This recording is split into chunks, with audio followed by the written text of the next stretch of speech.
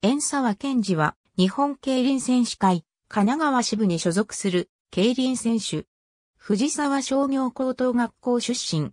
日本競輪学校第57期生。同期に坂本務、梶当たる弘樹らがいる。師匠は鈴木亮。ホームバンクは平塚競輪場。高校時代は陸上競技の長距離選手として活躍。1981年、1982年の全国高等学校駅伝競争大会に出場した経験を持つ。競輪学校時代は在校競争成績第8位。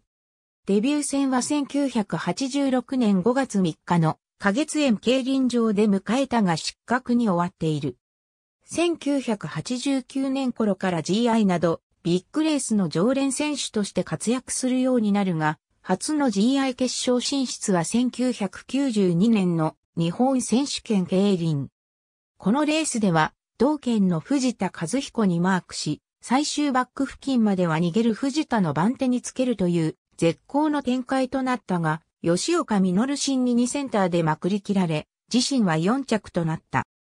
翌1993年の日本選手権でも決勝へと駒を進め、3着入選だったものの、2着入選の大竹慎吾の失格により繰り上がって2位となり、初の GI 表彰台を経験。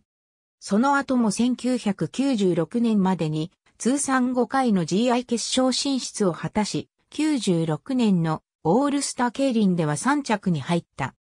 1997年は大活躍の年となり、日本選手権オールスターで決勝進出を果たしたほか、同年10月に開催された友人新農パイでも決勝へと駒を進め、2着に食い込んだ。